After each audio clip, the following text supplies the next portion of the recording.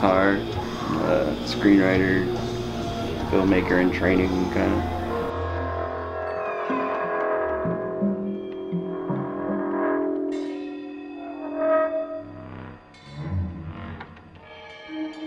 So I went to a program called Connecticut School Broadcasting where they teach you TV and radio and found that I really liked working with the equipment. But it was a two month certification program which really only prepared you for general broadcast. So my only options from there were to work for a news station or a radio station, neither of which I saw working out for me and I wanted to work with more narrative structures anyway.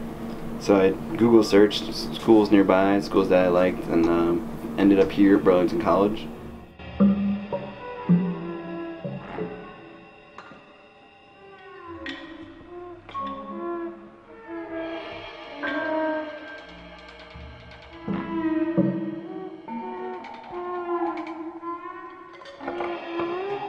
Oh, from Connecticut, Southington, Connecticut, near Hartford County. It's a small little suburb area. Grew up with two sisters and my parents. Uh, my mom is a back doctor, and my father is a minister. As everyone who's into heavy metal has found around the age of 14 to 17, I would say, when you arrive to this mostly uh, especially when your parents are religious. Uh, especially when you are the son of a pastor who is uh, expected to uphold certain uh, pastoral familial things. So obviously that only made it worse uh, in terms of my relation to heavy metal. Because as you know the more you tell a kid not to do something the more they love that thing. And this was my thing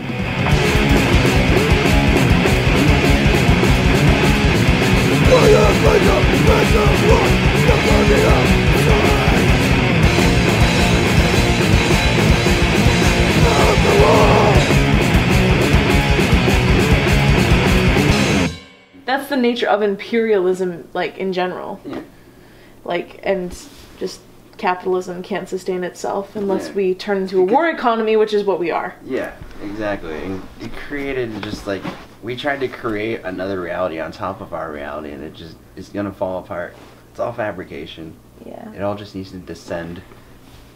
I mean, because collapse is a natural part of rebuilding. Exactly. Order and chaos. Yeah, order and chaos. Order and chaos. Jon and I met our freshman year of BC. We were living in the shitty place called the Cottage, Ooh. and it was really gross in there. But I was really afraid of Jon at first because he had a beard and he smoked cigarettes, and I like was 18 and didn't know anything. And then we sat on a bench for like two hours and talked about like paganism and anarchism and shit and conspiracy theories, and we became friends. And we've lived with each other for three years now. We're definitely entering a time of chaos. Yeah, you can feel it energetically. I mean, you can even just analyze it too. That too, but Yeah. I'm not going to do that because I'm a transpersonal know psych that's student. the difference, but that's why it works great because both of our sides agree with each other. Yeah, That's why our friendship works. yeah, I agree. You agree with Wicca. I agree with LaVey. I, I'm not a Wiccan. Stop I said you agree with Levica. I mean, you agree with Wicca, but I agree with LaVey. yeah, I don't agree with fucking Anton LaVey. That's alright. I don't agree- like.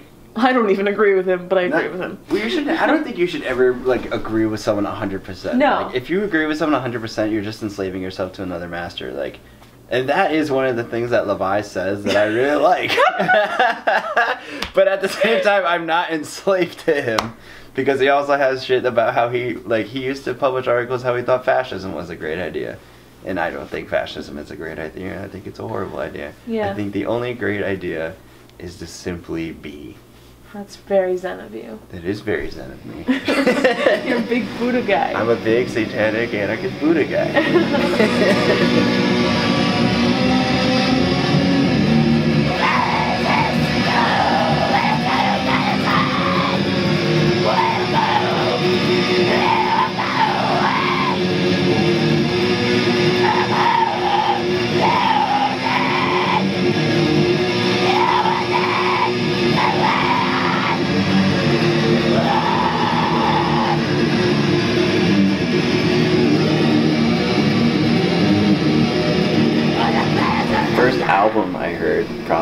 could trace to my first metal album uh, would definitely be a Black Sabbath's Paranoid album. I was in seventh grade, and my buddy snuck it to me on, uh, in the middle of our uh, church class on Sunday. My good friend Kyle, uh, he had a Black Sabbath album and told me I needed to hear it after we had been listening to ACDC for a few months. And so I listened to that, and boom, just game changer. I was like, this music is the most insane music I've ever heard. From there, it just